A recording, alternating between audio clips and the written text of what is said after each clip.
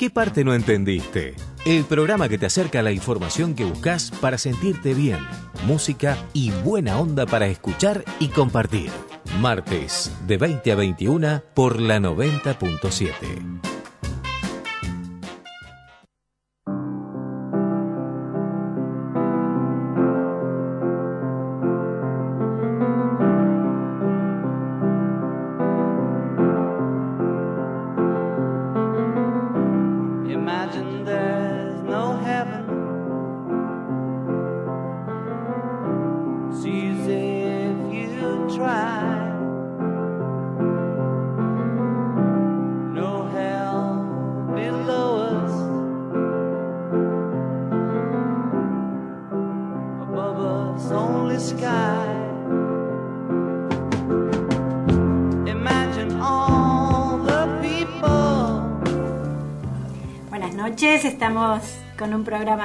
qué parte no entendiste.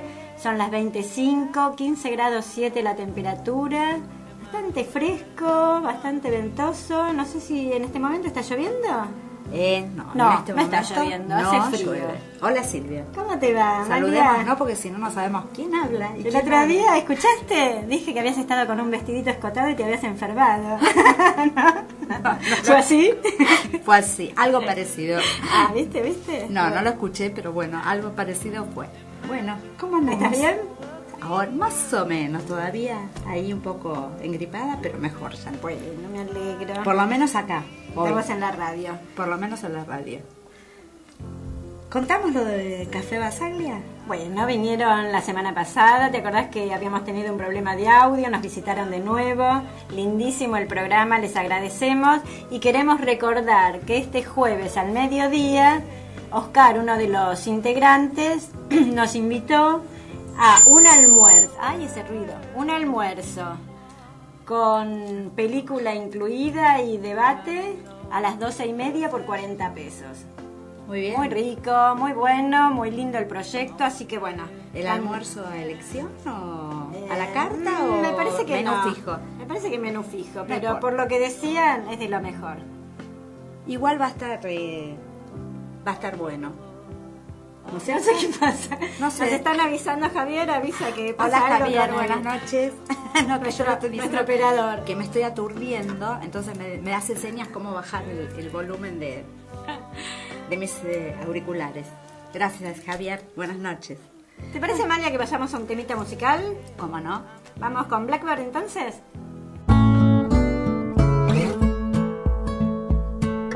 Blackbird singing in the dead of night.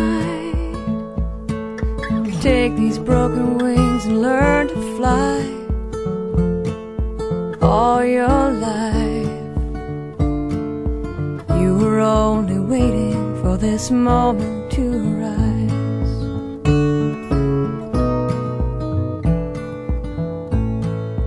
Blackbird singing in the dead of night. Take these sunken eyes and learn to see all your life. You were only waiting for this moment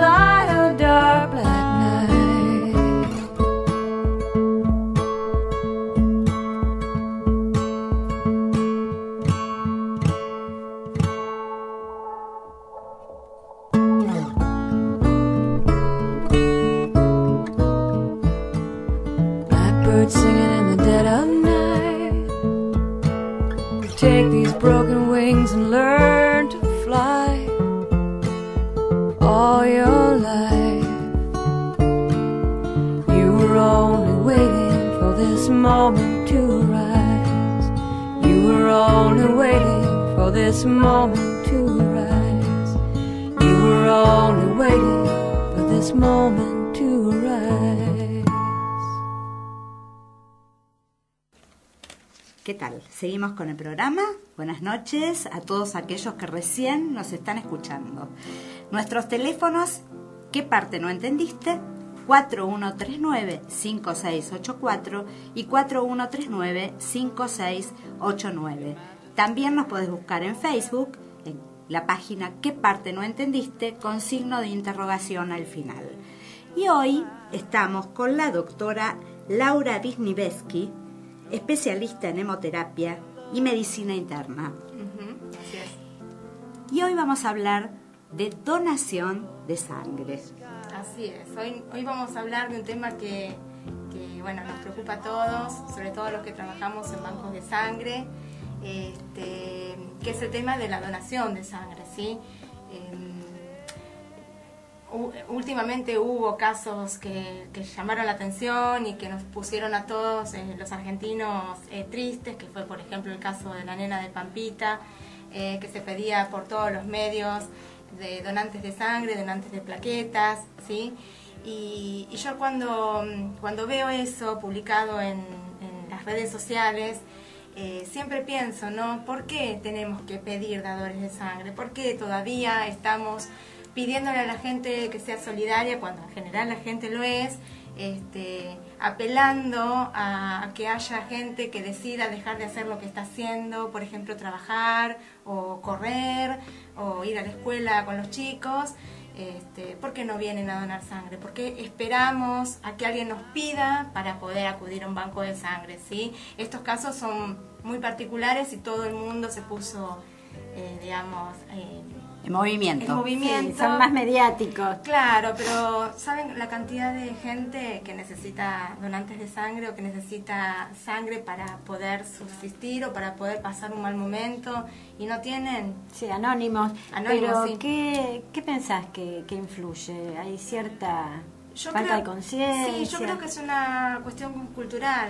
Sí, hay otros países en el mundo que, que desde hace muchos años organizaron sus bancos de sangre en bancos regionales, eh, donde se hace todo lo que es la promoción de la donación de sangre, la atención del dador y la extracción a los dadores de sangre. Después distribuyen eh, la sangre según las necesidades de los bancos o de los servicios de medicina transfusional que tiene cada institución. Es una cuestión cultural, es una cuestión de aprendizaje, es una cuestión de conocimiento. Eh, alrededor de la sangre eh, rondan muchos mitos este, que hay que desmistificar para, bueno, para poder conseguir sangre segura, ¿no? Que ese es el objetivo, conseguir sangre segura para nosotros, para nuestros familiares, para nuestros amigos. Laura, ¿por qué no aclaras qué es la sangre y qué es eso de los mitos que, que circulan? La sangre es un tejido, es un tejido que está compuesto por una parte que es celular, ¿sí? Y una parte que es líquida. ¿M? La parte celular está formada por los glóbulos rojos, cuya función es transportar el oxígeno necesario para las funciones vitales de nuestros órganos, ¿sí? Eh, las plaquetas, eh, que tienen como función comenzar, eh, cuando uno tiene una, una lesión, este, empezar la, la coagulación, digamos, ¿sí? la hemostasia primaria se llama. Y los glóbulos blancos, que ustedes saben que son los que nos defienden, son como nuestros soldaditos defensores. Este, y es un tejido, es un tejido que está vivo, que transporta proteínas, que transporta drogas, eh, que transporta azúcar, eh, desechos metabólicos para luego ser depurados, este, que es un tejido muy importante. Y los mitos, y bueno, eh, digamos, eh, la sangre tiene, está asociada con lo que es la vitalidad, lo que es este, la potencia, la vida. La sangre está asociada con la vida y el que pierde sangre también tiene posibilidades de, per- de perderla. Por lo tanto, tener este, en el momento que se necesita sangre segura para su uso es muy importante. Y nosotros, eh, en este caso yo en particular, eh, promociono y me encanta promocionar la donación voluntaria y habitual de sangre. ¿Qué sería eso, Laura? ¿Qué sería la, la donación voluntaria y habitual? La donación voluntaria habitual es aquella que hacen los hombres y las mujeres eh, periódicamente. ¿sí? En general, nosotros tenemos lo que se llaman dadores de reposición o dadores intrafamiliares o familiares, ¿sí? que concurren a donar sangre pura y exclusivamente cuando alguien se lo pide.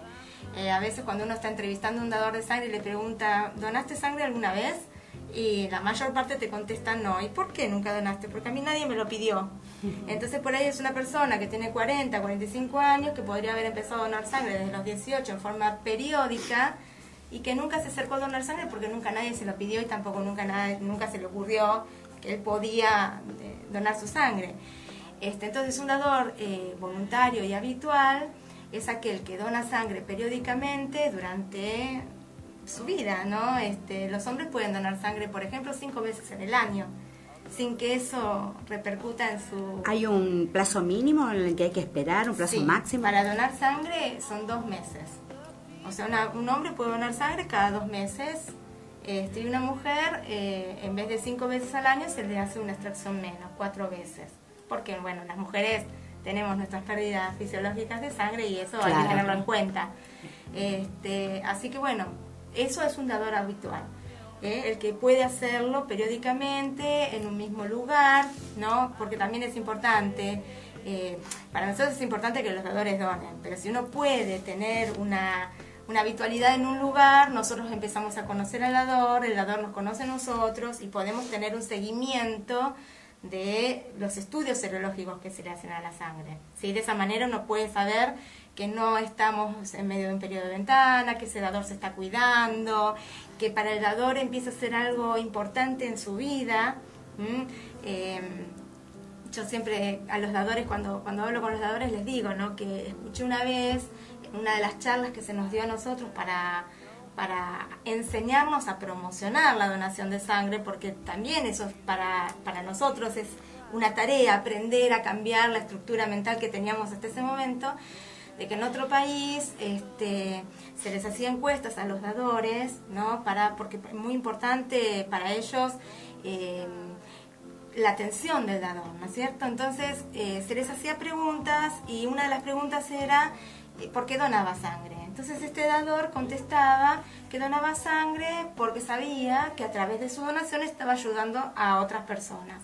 Bueno, con el correr del tiempo, el, el, digamos, la respuesta fue modificándose hasta poner que dona sangre porque se siente bien haciéndolo. O sea, en un momento él donaba sangre porque sabía que a través de su sangre podía ayudar. Después, cuando entendió de qué se trataba, él empezó a sentirse bien por hacerlo. O sea, que a mí se me sigue poniendo la piel de gallina cada vez que lo cuento porque me parece que esa es la idea.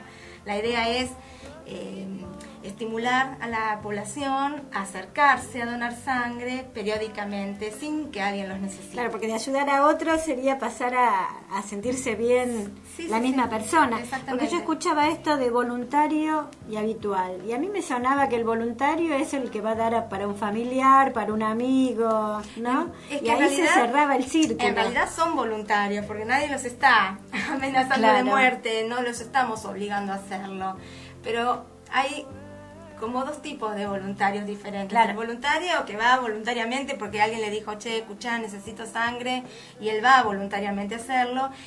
Y es diferente al que va voluntariamente a hacerlo sin que medie el pedido de nadie. O sea, yo tengo ganas de donar sangre, voy a hacerlo porque para mí es importante, porque que sé que voy a ayudar, este, porque sé que si lo hago periódicamente yo estoy testeado, yo sé que estoy bien y el que va a recibir mi sangre va a recibir sangre seguro. Teniendo en cuenta todo lo que nos estás contando, tenemos que pensar que donar sangre no influye para nada en la salud del donante. No, obviamente, si no, no lo haríamos. A veces a mí me preguntan, este, y no, si yo, yo soy médica, yo estoy tratando de ayudar al otro a estar mejor, por lo tanto no voy a poner en riesgo la salud de quien está donando algo tan importante.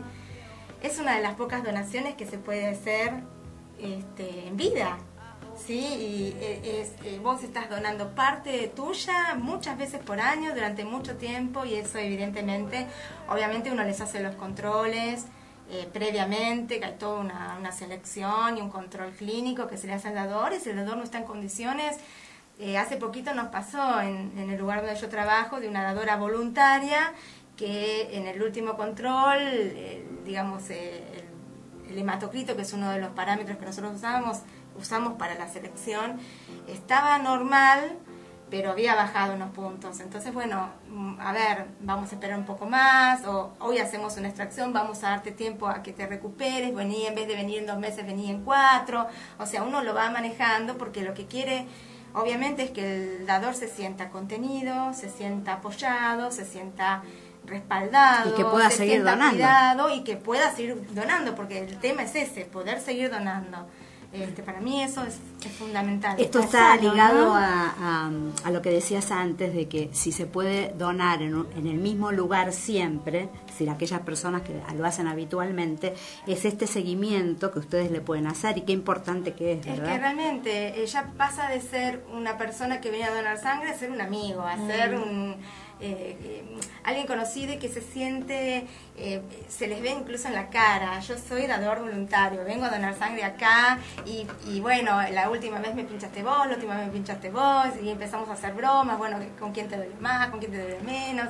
O sea, este, es como que uno, uno cuida a los dadores, siempre pero los dadores que son voluntarios y habituales es como que son eh, es la materia prima con la que vos estás trabajando y hay que cuidarla mucho. A mí me gusta mucho el tema de lo que es la calidad y la calidad en la atención, o sea, vos sos especial.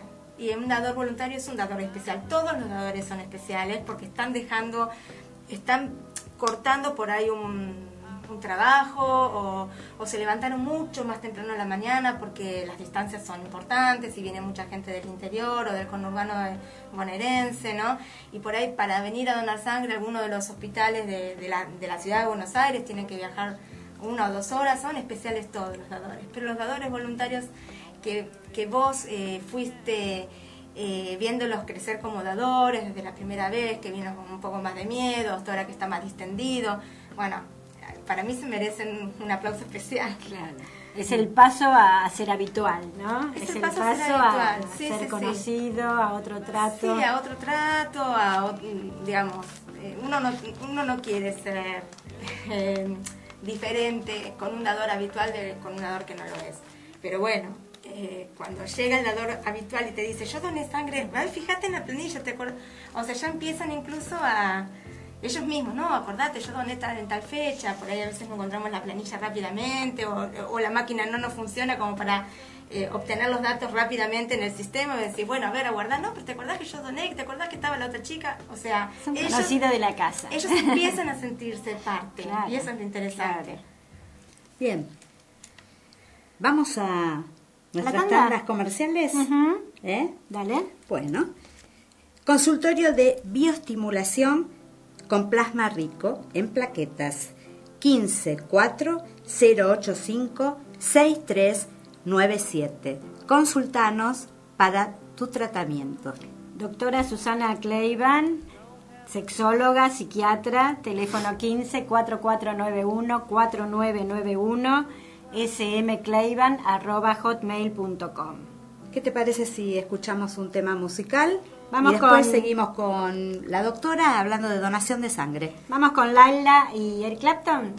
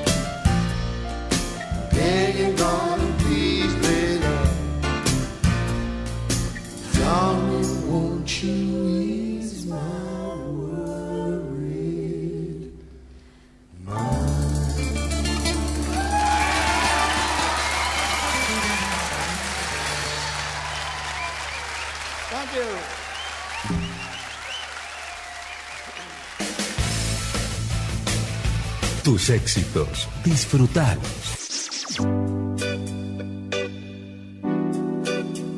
Tu radio te acompaña. FM Flores 90.7 Espacio Publicitario. Yancanelo. El verdadero sabor de la aceituna. Tu negocio depende de tu decisión. Radio FM Flores. Ventas arroba radiofmflores.net.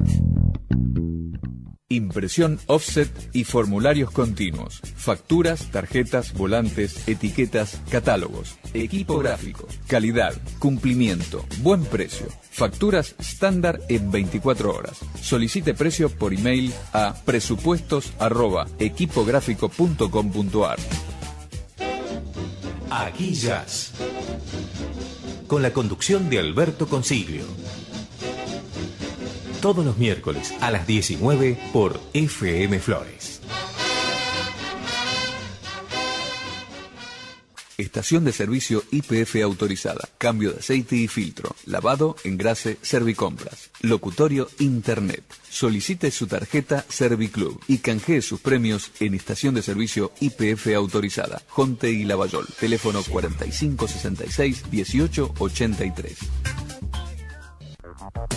Todos los viernes a las 17, escucha Buenos Aires Tecnológica, el programa de la Universidad Tecnológica Nacional, Regional Buenos Aires, que ofrece soluciones a las pymes.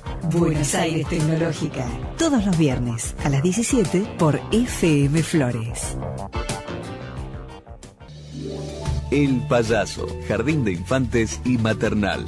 Niños de 45 días a 4 años. El Payaso, PAES 2870 Casi Nazca. Teléfono 4611 611 611 9778. En Alra, usted es la prioridad. Grandes ventajas y bonificaciones. Su usado o plan de ahorro es efectivo. Alra Volkswagen. Avenida Juan B. Justo, 2611. Teléfono 4656-5700. Servicio postventa 4671-8888. www.alrabw.com. En Alra, primero usted.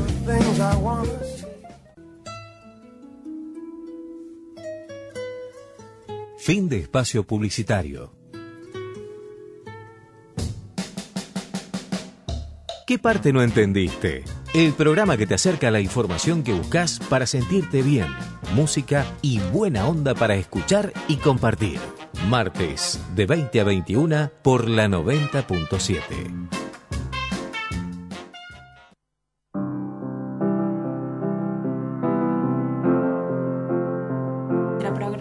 Nosotros entonces con nuestro programa. Son las 20:30, 15 grados 7 la temperatura.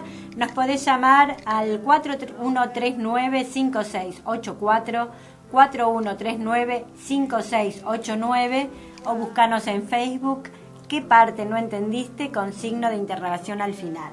Muy bien, Silvia. Seguimos con la doctora Laura Wisniewski, especialista en hemoterapia y medicina interna, charlando sobre donación de sangre. No sé si te diste cuenta que te dejo decir el apellido a vos. ¿Por qué será? ¿Por qué será? ¿Será que se te complica un poco la B, la B y la T? Ahí, bueno. Este, Laura, este, me quedó algo eh, pendiente de, de todo lo que hablaste, que muy interesante. En, en algún momento nombraste o dijiste eh, a partir de los 18 años y me quedé pensando, ¿hay una edad mínima y una edad máxima para donar sangre? Mira, legalmente lo que nuestra ley nacional de sangre habilita es a donar sangre desde los 18 hasta los 65 años, pero puede haber excepciones. ¿sí? Por ejemplo, un, muchacho o una muchacha de 17 años este, pueden donar sangre acompañados por su madre, su padre, su tutor, que asientan y consienten, eh, la, eh, consientan la donación, ¿sí? Y después de los 65 años, en algunos casos se puede donar, eh, también tiene que estar con una orden del médico, o sea, estamos saliendo de los de los, Los parámetros márgenes, normales. pero se puede. se Claro, puede. yo pensaba, además de la edad, ¿hay algunas otras condiciones? ¿El peso? Sí, sí, este, Eh, Se habla de los tatuajes también. Claro, bueno, eh, para donar sangre básicamente hay que seguir algunas directivas, Sí. ¿sí? Que no son para nada complicadas. Entonces, los dadores tienen que tener entre 18 y 65 años, concurrir con documento de identidad, eso es sumamente importante, ¿sí? Este, después... eh, eh, otra cosa que es importante y que se está tratando de, que también es parte de los mitos que hablábamos antes, es de que el dador concurra con un desayuno. ¿sí? Ya no, no- no queremos más a los dadores que, que vienen de muchas horas de ayuno.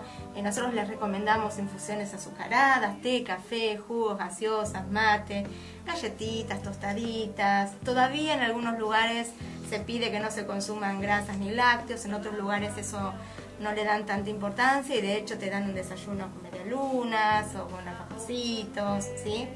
Y nosotros este, insistimos con el tema del desayuno. Los dadores soportan mucho mejor la espera cuando hay muchos dadores, ¿sí? O cuando vienen desde muy lejos, como hablábamos antes, te tuviste que levantar a las 4 de la mañana y decís hasta por ahí me van a atender a las 11, llegan en estados medios deplorables, entonces nosotros los invitamos a desayunar. Famélicos. Sí. Que ese es un cambio, porque antes se decía Es un cambio, sí. Estamos tratando de que Claro. la donación sea algo mucho más dinámico, mucho más y, y aparte no sea algo mm, traumático. natural. Sí, más natural, Más que sea del algo lado de la salud, ¿no? Es que en realidad, eh, por ejemplo, las colectas de sangre que se hacen eh, externas, ¿no? Donde, mm, donde el equipo sale a buscar al dador de sangre a la calle. Estamos desde las 8 de la mañana hasta las 4 o 5 de la tarde.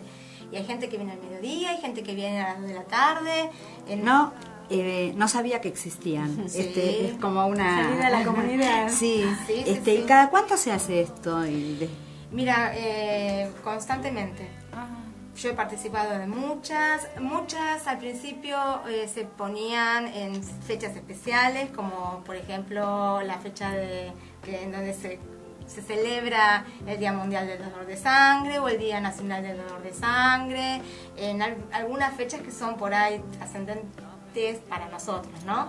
Pero constantemente se está yendo a instituciones este, eh, a hacer colectas de sangre en las universidades, escuelas, en la calle.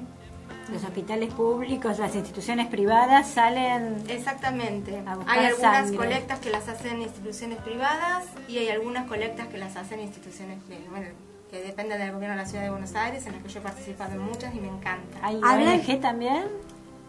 No, no sé. No, No sé, no sé, pero sí que el gobierno de la ciudad de Buenos Aires tiene armado desde hace mucho tiempo este, colectas bien organizadas. Es un trabajo que es fabuloso. Es más, me ha pasado de ser eh, colaboradora en alguna de esas colectas en el obelisco, por ejemplo, y estar entrevistando a un dador. ¿Donaste sangre alguna vez? Sí, en la colecta pasada.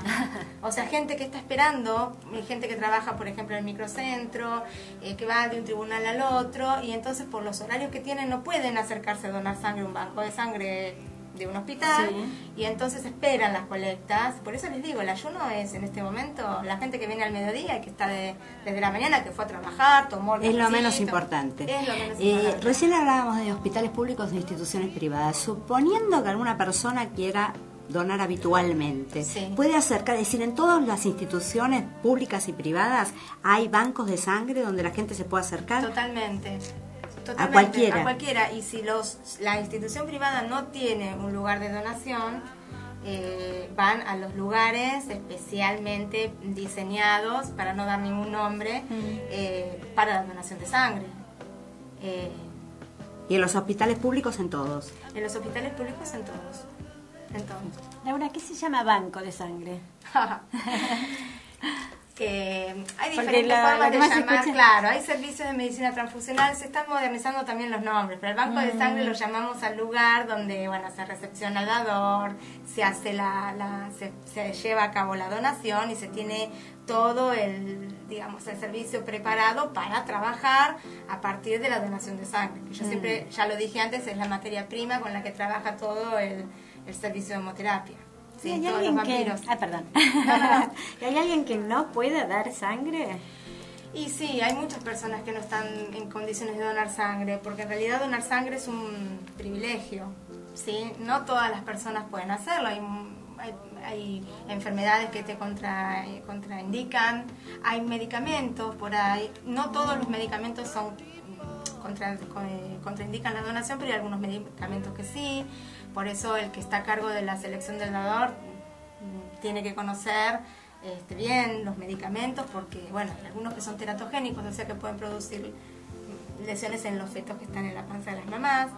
Eh, eh, bueno, situaciones muy puntuales que se, que se ven y se trabajan y se analizan eh, en el momento de la selección del dador. Por ejemplo, yo sé que yo tuve hepatitis y sé que no puedo donar sangre. Este, ¿Hay alguna prescripción para eso? ¿Alguna En realidad desde hace, unos, desde hace unos años atrás, es, digamos, se dio vía libre, para decirlo de alguna forma, a aquellas personas que hubiesen tenido hepatitis antes de los 10 años de edad. Hasta- yo trabajo en... Hepatitis, estamos hablando de hepatitis A, A. de la hepatitis A, ¿sí? Bien. Ahora tenemos la suerte de que nuestros niñitos eh, y nuestros jovencitos ya están vacunados todos contra la hepatitis B, por lo tanto ya en algún momento esto no va a ser un problema, pero la hepatitis B es una enfermedad que se transmite por sangre. Así que nunca se puede donar, aquellas personas que han tenido hepatitis B nunca pueden hacerlo, No. donar sangre. Sí las que tuvieron hepatitis A antes, de los 10 años. Sí. Eh, a mí a veces me da un poco de cosa darles a los dadores, porque esto es otro tema, ¿no? Este, demasiada información, porque como todavía nosotros no tenemos una conciencia de donar sangre, eh, muchos dadores nos mienten.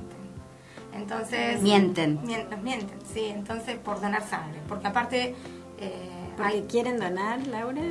algunos porque quieren donar, Porque los necesita algún porque, familiar. claro, algún- y otros porque después esperan una paga que eso Ah. es lo más peligroso eh, con lo que nosotros contamos, con los dadores que son remunerados. Existen... Hay dadores remunerados. Sí, así como hay dadores habituales y voluntarios, y hay dadores de reposición, también hay dadores remunerados, que hay que tratar de erradicarlos porque... Es, es delito. Es delito, pero aparte es riesgoso. Y, y, eh, nosotras o nosotros, los que estamos en ese momento cargo de la selección del donante, tenemos muchas formas de darnos cuenta, pero no somos adivinos. Entonces, si una persona te contesta que no a todo lo que vos le preguntás, en algunos momentos uno puede, mm, a ver, este, pero es muy difícil y uno lo que quiere es garantizarle al paciente que el producto que va a recibir, cualquiera sea, es un producto seguro. Este, entonces hay que tratar de erradicar por completo a aquel dador o aquella, aquella persona que por no conseguir dadores, porque aparte es el otro tema, eh, que yo siempre digo, si nosotros pudiéramos conseguir dadores voluntarios, que vengan voluntariamente, pero no uno Habituales. por mes, claro, habituales, sí. Eh, uno o dos en nuestra estadística, no tenemos muchos al mes, ¿sí? Si nosotros consiguiéramos eso como en otros países del mundo, ya no habría necesidad de pedir dadores de sangre como se pide. Con urgencia, claro, con la urgencia que... de- es, que, es que es así, es como si fuera un, un banco, o sea, si vos cargas las, las arcas con mucho dinero, no tenés que estar pidiendo préstamos afuera para llenar eh, la caja de, de- de efectivo. Si vos tenés dadores voluntarios que vienen y donan y vuelven otros, incluso se puede organizar todo un... eh, ante la emergencia, por ejemplo, vos podés decir, bueno, a ver, ¿qué grupo es el que está? Bueno, va, a ver, fulano, mengano, está en condiciones de donar, bueno, vamos a empezar a recitar. Nosotros no podemos hacer eso todavía, porque por lo menos en el lugar donde yo trabajo no hay tanta cantidad como decir, bueno, a ver, ante una emergencia te llamo a vos. Ahora, yo pensaba recién, qué importante que es la promoción, porque con la promoción se evita la venta ilegal de, de sangre, ¿no? Ojo, nos- nosotros no vendemos sangre, eso, no, eso se- digo, se Sí. termina con un tráfico Hay- ilegal. Hay gente, hay gente que por eh, el discurso de muchos es, eh, yo no tengo a nadie, yo no conozco a nadie, yo recién llego. eh, entonces, ante esa situación de vos decir, bueno, yo tengo mi, mi, mi, mi, banco con tanta cantidad, soy un hospital de agudos, entonces puede caerme la emergencia que yo mañana no tenga.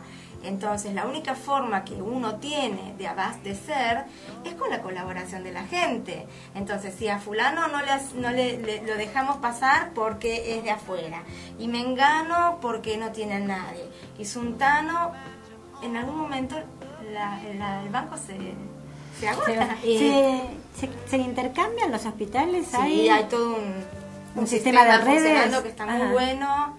Este, sí, sí, sí.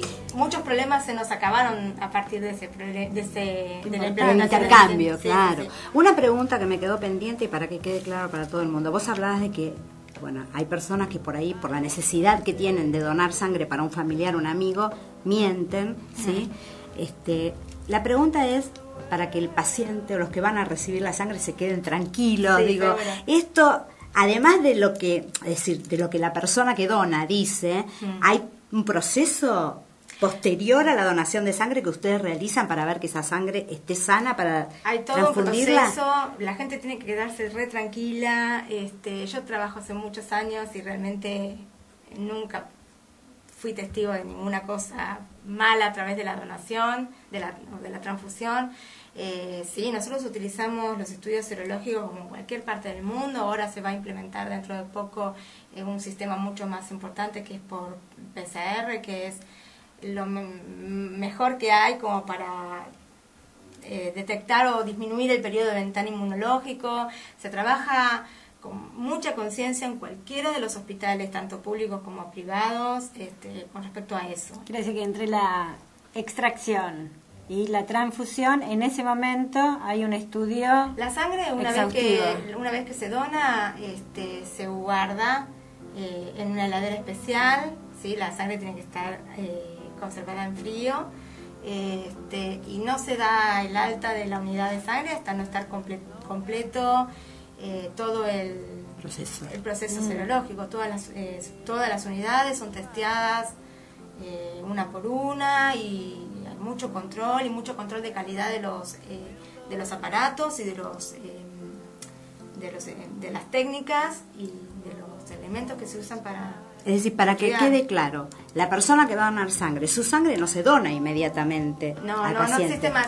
Oh, claro. Ah. exactamente. No, no, no, no. Digo, todo- porque si no parece como... No, no, no, hay todo un proceso eh, que está muy bien eh, organizado, eh, realizado por personas, eh, por bioquímicos, eh, o por profesionales del Ujú. servicio que se encargan de hacer los estudios serológicos y si hay alguna cosa que no está bien o que no da bien, se cita nuevamente al dador, se hacen estudios complementarios, se lo deriva en el caso de que algún estudio haya dado reactivo, pues nosotros no decimos que porque da reactivo está enfermo de nada, ¿sí? Se les explica a los dadores antes de donar, se les hace firmar un consentimiento, digamos, informado, Informado. De que estamos, eh, que todas las preguntas que se le van a hacer es eh, justamente para eso, para verificar su estado de salud al momento de la donación y para este, que nos autorice a hacer los estudios. Es decir, que de esta manera lo que se está haciendo es cuidar a los dos, aquel que dona y aquel que recibe. Totalmente. Mm, Porque aquella sangre que no está bien se desecha, imagino. Obviamente la sangre que no está bien o que hay algún problema con la sangre es automáticamente desechada, el dador se lo cita, sí, es así, nosotros cuidamos tanto a quien va a donar su sangre como muchas veces los dadores se ofenden porque no pueden donar y uno trata de explicarles que en realidad eh, es este, contraproducente o porque no está en condiciones o porque tuvo alguna situación de riesgo. Este, ¿Entendés? Ent- ¿Entienden? Entonces, este, Podés, podés tutear, no hay problema. se- se- nosotros cuidamos mucho, para, eh, para nosotros es muy importante, para cualquiera de los bancos de sangre, cuidar al dador es fundamental. Y por eso, volviendo al tema de la donación voluntaria habitual, esos dadores son los mejores, eh, porque hay una continuidad, entonces vos ya conocés hasta si tienen nietos, si no tienen nietos, si tienen hijos, si el primito, si el tío. Vos nos contaste antes de este, una canción que cantó Patricia Sosa en el Día Mundial de la Donación de Sangre, que acá en Arge- es el 14 de junio, El 14 ¿verdad? de junio si no es el Día. Mundial de la Donación de Eh, Sangre y el año pasado fue muy importante porque la sede mundial fue en la Argentina. Entonces se hicieron muchos eventos, ¿sí? Eh, eh, fuimos a correr a Palermo, eh, se hizo todo un- una presentación de justamente el himno, no, el himno a la que de- queríamos contarte que lo encontramos y ahora lo vamos a escuchar Lo escuchamos y después nos contás. Dale, es muy lindo, a mí me gusta mucho.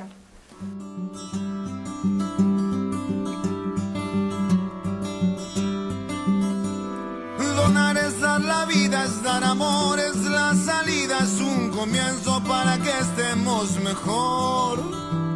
Donando en cada gota yo soy vos y vos sos un poquito yo. Dona que esta es tu casa, aquí en mi cuerpo todo pasa. Hermano, yo te doy mi corazón. Sangre bien latina, esta es mi sangre, es argentina, es para vos. Estaré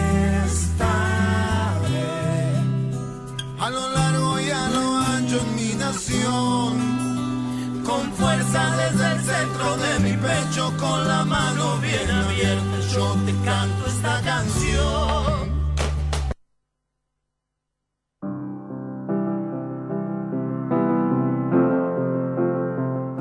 Patricia se cortó, escuchamos un pedacito de tema. Un Contanos un pedacito. poquito.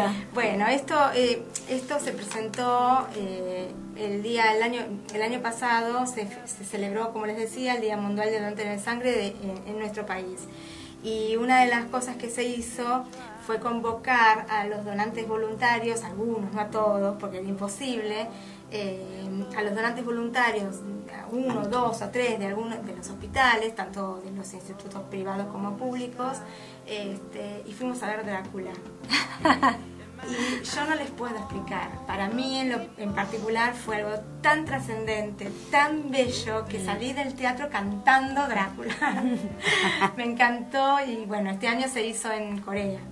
Y se cantó este himno, se- se- una, una cantante que lo, lo cantó en coreano, divino también. Son las Dráculas de la salud. Sí, tal cual. ¿Cuánto tiempo lleva una donación? Mira, eh, entre que el dador llega, se le hace la entrevista médica, se le hacen los controles clínicos y se dona, es más o menos media hora, tres cuartos de hora, eso depende, ¿viste? De lo que, de lo que tardemos. La donación en sí, la donación, donación Sí, en sí, sí. son cinco siete minutos, es rapidísimo. Ah.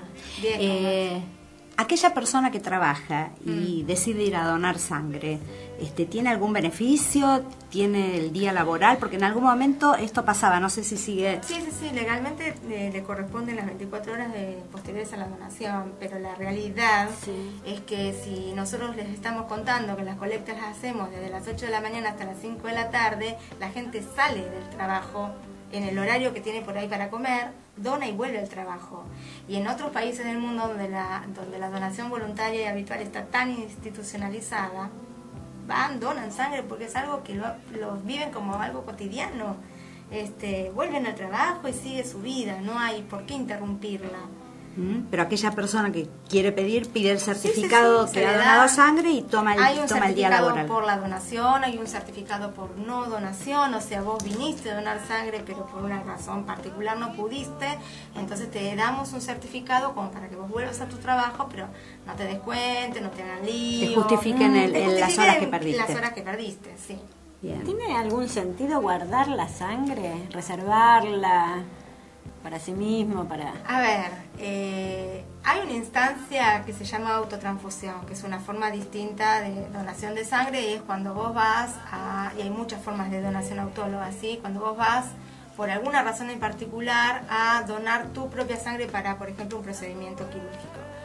Guardar la sangre congelada, y bueno, tendrá importancia en algunos casos muy súper puntuales, eh, donde por ahí es un grupo de sangre muy raro, que existe de hecho, pero no es el grueso de la población. Entonces, bueno, eso queda en criterio de, de la persona que quiere hacerlo.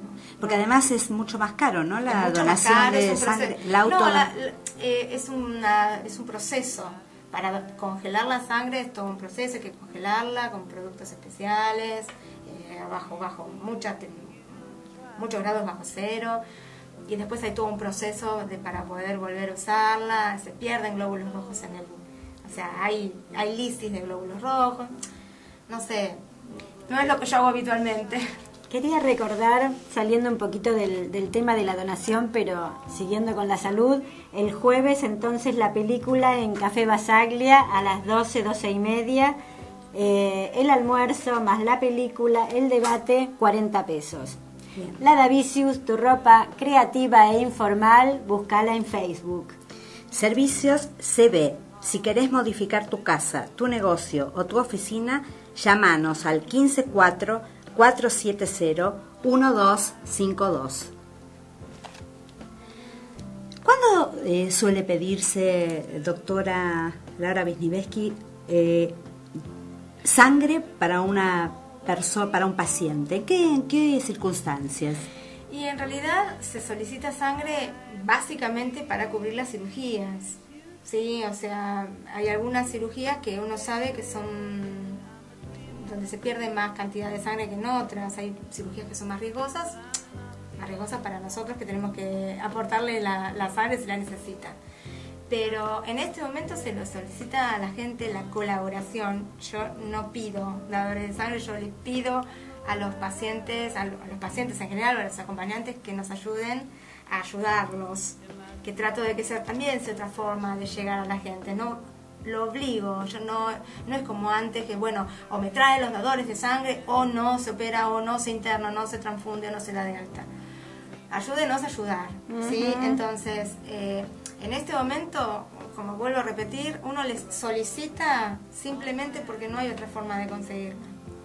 Así Sí. que no necesariamente esa sangre haya que usarla. No, no, no, uno, es más, yo les digo, eh, por ejemplo, vienen las embarazadas, uno les solicita un dador. ¿Por qué? Y bueno, es una forma de ayudarnos, a ayudar a otras mamás, a ayudar a un abuelito, a un chiquito que está enfermo. Y si vos necesitas en tu momento también vamos a ayudarte, ¿sí? Y de hecho los ayudamos y de hecho transfundimos mucho más de lo que por ahí recibimos de mucha gente que lleva muchas unidades de sangre y que una vez que se salvó la situación se olvidan de además, nosotros. si la sangre vence todo el tiempo hay que estar pidiendo Es porque que la sangre vence, es como un medicamento. Tiene una fecha de, de elaboración, un procesamiento y una fecha de caducidad. Preguntamos cuánto tiempo, te preguntamos cuánto No. tiempo dura. A ver, nos gustaría saberlo. Eso depende del tipo de, mm, de, de anticoagulante eh, llevan las bolsas. ¿sí? Hay anticoagulantes y sustancias conservantes, ¿sí? porque es un, es un, es un- el anticoagulante tiene no solamente impide que la sangre se coagule en la bolsa, sino que la nutre durante el tiempo que está almacenada, ¿no? Y bueno, entonces tenés anticoagulantes que hacen que las bolsas duren 21 días, hay algunas que tienen para 35 y otras de 42. Así que lo máximo es 42 días. Lo máximo es 42 días. Así que a los 42 días la sangre como máximo se venció. Sí, si no se usó, eh, no, no, no tenemos mucha Mm, sangre. claro. si no la usamos. En Yo le había preguntado antes de los tatuajes. Sí. Eh, no sé si es un mito o es no, una no, no, realidad. lo- los tatuajes están dentro de las llamadas para nosotros situaciones de riesgo. Ajá. ¿sí?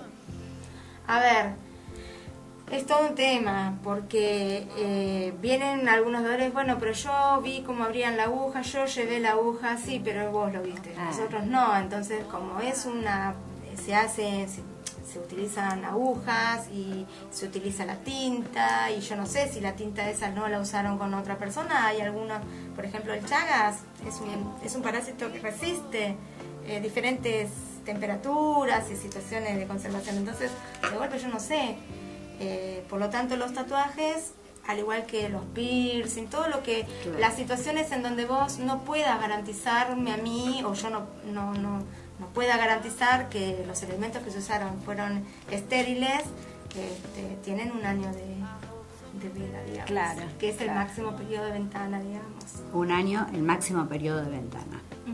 Que- Ventana es tiempo de espera. No, la No. ventana, el periodo de ventana es un periodo es, eh, que, que que va, digamos, desde el momento en que una persona se contagia una enfermedad hasta que puede ser detectada por los estudios serológicos que se usan en la actualidad. Y entonces los periodos de ventana eh, va- varían de acuerdo a la técnica que se usa. Entonces hay periodos de ventana para enfermedades según la técnica que son de dos semanas, otros que son de una semana, otros que son de, de qué sé yo, de dos meses hasta 12. Entonces como nosotros realmente ante el periodo de ventana estamos ciegos, eh, para nosotros la entrevista médica que se le hace al dador, el, el mirarle a la cara, el ver los gestos, el escuchar lo que nos cuentan, es tan importante como el estudio serológico que se hace después. Este, eh, entrevistar a un dador es una tarea bastante difícil. No es Hasta tan- la escuchándote digo... la extracción es un, es, eh, puede ser más Claro. dificultosa según las venas del paciente, del dador, pero, pero la entrevista médica es algo a lo que uno tiene que prestarle mucha atención, porque ese es el... Es lo que va a Es hacer que esencial. además vuelva. Exactamente. ¿no? Sí, sí, totalmente. Laura, te agradecemos muchísimo. Ah, Fue un bueno, programa. Importantísima la donación de sangre, la vamos a promocionar. Ay, me encantaría. Eh, sí, nos vas, nos vas a enseñar cómo, de qué manera, Invitando, pero invitando muy importante. A, la gente a donar sangre, acercarse a cualquier banco de sangre, este, ya sea público o privado, no importa, el tema es donar. Muy bien, muchas, gracias, gracias. Doctora. Nos despedimos con Wonderful Tonight. Hasta el martes, Silvia. Hasta el martes. Gracias, Laura. De nada.